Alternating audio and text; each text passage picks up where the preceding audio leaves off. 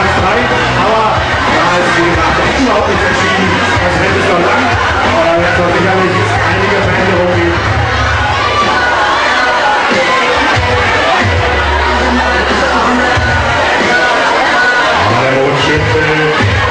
Aus Freiburg, die jetzt hier gerade, die Spitze, alles in Form, gerade sehen wir